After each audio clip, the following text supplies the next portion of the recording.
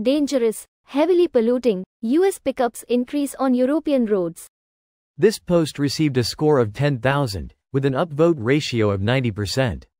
Here are the top comments in response to this article. Spotted some in Poland. Those are not made for our parking spots. Insane. In all fairness, they're not made for a lot of US parking spots either. Especially not when they're jacked up and have wheels sticking out as far past the wheel well as they can.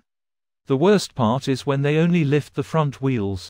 Never seen that before, but that's even more ridiculous. How do you even see the road at that point? You're pointing up like you're on a frigging rocket ship. Google, Carolina squat. They're absolutely ridiculous. And just a note on the Carolina squat it's illegal in both Carolinas. I think Alabama finally limited the squat to four. Carolina squat is the dumbest thing I've seen done to trucks. I saw one in Germany. It barely fit within the lines of its parking spot. And it looked comically large next to minivans, which literally carry 2x the people. They barely fit in the parking lines in Canada, US as well. Especially when they add wheel spacers so tires stick out six. On either side like a 90s South Central Honda Accord. Like a Tonka truck that toddlers like. Have a coworker who drives a huge Mercedes pickup to work 60 kilometers every day, and she works in an office, complete waste. And those are small compared to the big three American ones. American cultural victory. Jeans and Coca Cola. Coca Cola, sometimes war. We're all living in America. See a few of these in London with our tiny roads. You look like a megatord drastically trying to compensate for your bald spot in 1999 Oakleys.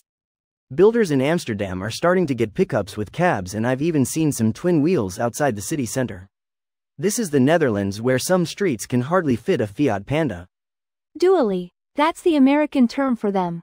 Pronounced dually. For the first time since 2013, New Jersey residents are being treated to the city's biggest fireworks celebration this July 4th. The 10,000 free tickets Mayor Eric Adams was offering have all been claimed, but a number of venues from the High Line to Hudson Yards are selling fancy $100 plus tickets to their rooftop parties and viewing points. There are still plenty of places to take in the great views for free, no tickets required. Wow, this is roomy. I think EU needs to place insane tariff, tax on pickup trucks or else these annoyingly American vehicles will be an infestation on EU roads. I'm pretty sure there are already hefty taxes on them. Import taxes, pollution taxes, they have to be very expensive to acquire, but those who do get them don't care. Some of these, at least in Sweden, are sold as flexifuel meaning they can run on ethanol. Instant reduction in tax. Many cost less than a small car to tax every year despite the emissions. I was also reading another article from Sweden how many companies get pickup trucks instead of vans because they end up being significantly cheaper over the lifetime as a result of things like the above, even if a van would suit them better. This video was automatically created by Reddit to speech.